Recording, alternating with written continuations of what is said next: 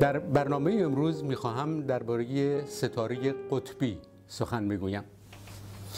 در میان همه ستارگان آسمان یک ستاره ویژگی بی همتایی دارد و آن این است که برخلاف همه ستارگان که جای خود را در آسمان تغییر می دهند و در طول شب به سوی باختر غرب می روند آن ستاره همیشه در هر ساعتی از شب یا در هر زمانی از سال در یک جا نسبتاً بی حرکت ایستاده است. سبب این است که این ستاره بر حسب تصادف در امتداد شمالی محور زمین جای دارد. حرکت ظاهری آسمان که برآمدن ستارگان و تغییر جایشان به سوی باختر را به دنبال دارد زایده چرخش کره زمین به گرد محورش است. و چون این ستاره روی محور زمین جای دارد و همه ستارگان به دور محور می گردند این ستاره بی حرکت دیده می شود این ستاره نماینده قطب شمال آسمان است. قطب شمال آسمان نقطه‌ای فرضی است که از برخورد محور زمین با کره فرضی آسمان به وجود می آید. در حرکت شبانه روزی ظاهری آسمان همه ستارگان به گرد قطب آسمان می گردن. این تصویر اینطور گرفته شده که دریچه دوربین عکاسی را ساعتها باز گذاشتن ردهای نوری که می بینید هر یک حرکت ستاره را به گرد قطب شمال آسمان نشان می دهد. ستاره درخشانی که در مرکز می بینید و ردی ندارد ستاره قطبی است. ستاره قطبی را در لاتین ستلا پولاریس می نامند ستلا به معنای ستاره در زبانهای اروپایی افتاده و پولاریس به معنای قطبی باقی مانده است. نام عربیان جدی است. به فارسی جدی در زبان پهلوی به آن میخ گاه می‌گفتند. به فارسی کنونی میخ گاه به معنای میخ محل یا میخ زمان. میخ به این سبب که جایش ثابت بوده است.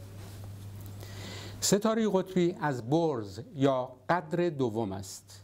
یعنی آن اندازه درخشان است که با چشم به آسانی دیده می شود ولی جزو ستارگان درخشان آسمان به شمار نمی رود از حیث درخشندگی ظاهری چهل و هشتمین ستاره آسمان است. گفتم که این ستاره روی محور چرخش زمین جای دارد. ولی اگر بخواهیم پرسون دقیق باشیم این سخن درست نیست. چون کاملا روی محور زمین قرار نگرفته است. در حدود 42 درجه از قطب شمال واقعی آسمان فاصله دارد. 42 درجه در حدود یک و نیم برابر قطر ظاهری کره ماه در آسمان است. این تصویر که پرسونتر از تصویر پیش است نشان می دهد که در نقطه مرکزی که همان قطب شمال باشد هیچ ستاره دیده نمی شود ستاره قطبی نزدیکترین ستاره به این نقطه مرکزی است. ستاره قطبی یکی از ستارگان همختران صورت فلکی خرس کوچک دب اسقر است. برای یافتن آن از همختران خرس بزرگ دب اکبر شروع کنید.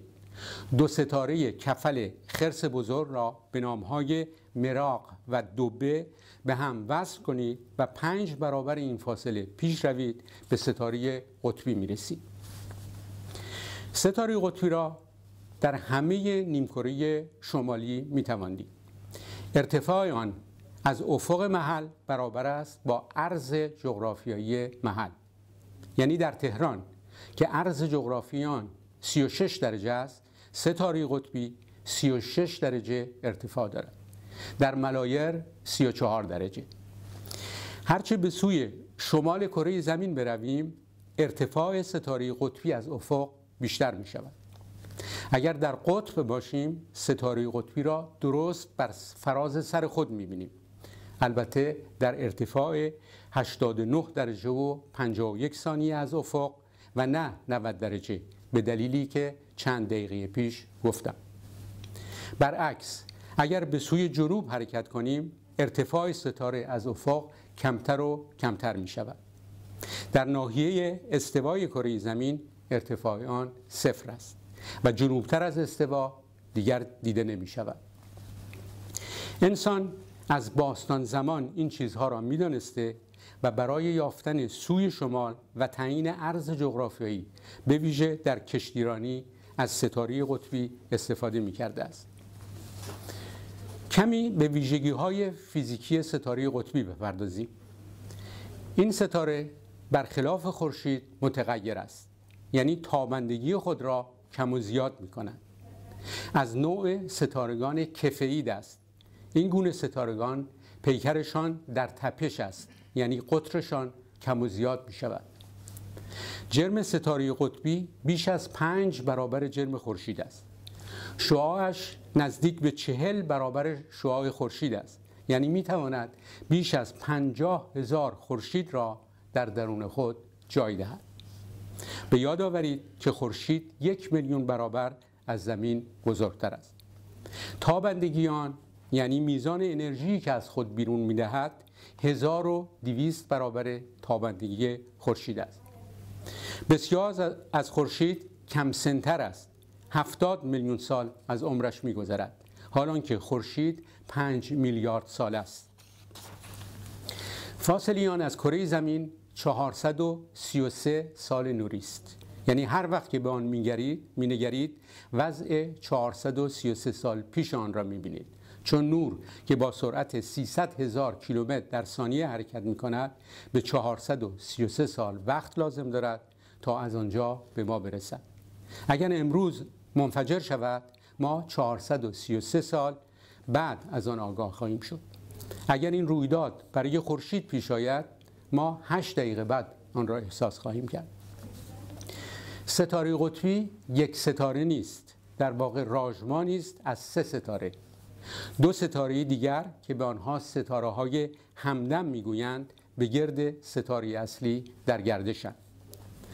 در سال 1929 کشف کردند که در بینا به طیف ستاره قطبی نشانه هایی از وجود ستاره دیگری بسیار نزدیک به آن وجود دارند. فاصله زاویه این ستاره همدم از ستاره اصلی یک دهم ثانیه است. دیدن آن حتی با تلسکوپ های بزرگ آسان نیست. به تازگی تلسکوپ فضایی هابل این ستاره همدم را از ستاره اصلی واگشوده است.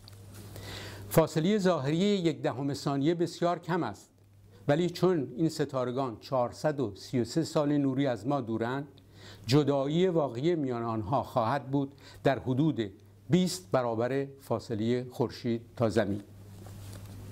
این ستاره هر سی سال یک بار به گرد ستاره اصلی میگردد. جرم و شعاع آن کمی از جرم و شعاع خورشید بزرگتر است و تابندگی آن یعنی میزان انرژی که بیرون می‌دهد سه برابر تابندگی خورشید است. ستاره سوم در فاصله زاویه بسیار بزرگتری نسبت به ستاره دوم قرار گرفته. در فاصله بیش از 18 ثانیه زاویه‌ای. یعنی فاصله واقعی این ستاره سوم از ستاره قطبی 2400 برابر فاصله زمین تا خورشید است. بنابراین هزاران سال طول می کشد تا این ستاره یک بار به گرد ستاره قطبی بگردد. با اینکه فاصله زاویهش از ستاره قطبی بسیار است با چشم برهنه نمی‌توان آن را دید چون بسیار کم نور است.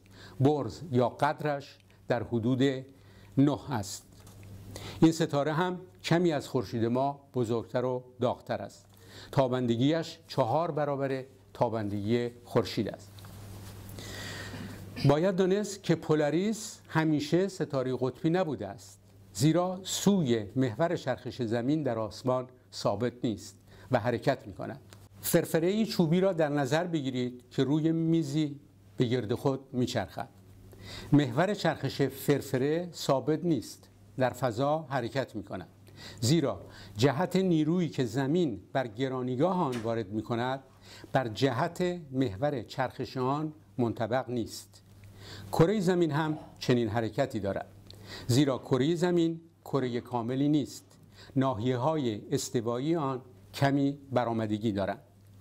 نیرویی که خورشید و ماه و سیاره ها بر این برآمدگی وارد می کنند باعث می شود که سوی محور چرخش کره زمین ثابت نماند و حرکت کند.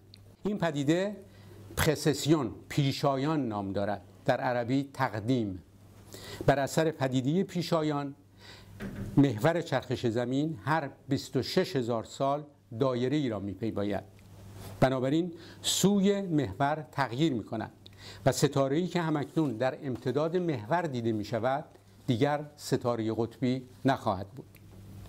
البته پولاریز هنوز قرنها ستاره قطبی خواهد ماند. همکنون ستاره قطبی در حال نزدیک شدن به قطب شمال است. در سال 2100 به نزدیکترین فاصله خود از قطب خواهد رسید. در آن هنگام تنها 27 درجه از قطب فاصله خواهد داشت. گفتم که چون سوی محور چرخش زمین تغییر می کند ستارگان دیگری می توانند ستاره قطبی بشوند. 2600 سال پیش از میلاد در زمان ساختن هرمهای مصر ستاره قطبی ستاره‌ای بود در همختران اجدها ستاره‌ای به نام صعبان که از ستاره قطبی کنونی کم نورتر است. در حدود 400 سال پیش از میلاد در زمان افلاتون ستاره قطبی ستاره‌ای بود که کوکب نامیده می شود در حدود 2000 سال دیگر ستاره‌ای در همختران کفئوس به نام رایی ستاره قطبی خواهد شد. پنج هزار سال دیگر ستاره زراع یمین ستاره قطبی خواهد بود که درخشندگیش از درخشندگی ستاره قطبی کنونی کمتر خواهد بود. جالبتر از همه چهارده هزار سال دیگر خواهد بود. زیرا ستاره قطبی ستاره وگا نصر واقع خواهد بود که بسیار درخشان است. پنجمین ستاره درخشان آسمان است. وقت ما به پایان رسید. 26 هزار سال دیگر پولاریس دوباره ستاره قطبی خواهد شد. ولی فاصله آن از قطب شمال آسمان بیشتر از آنچه امروزه هست خواهد بود.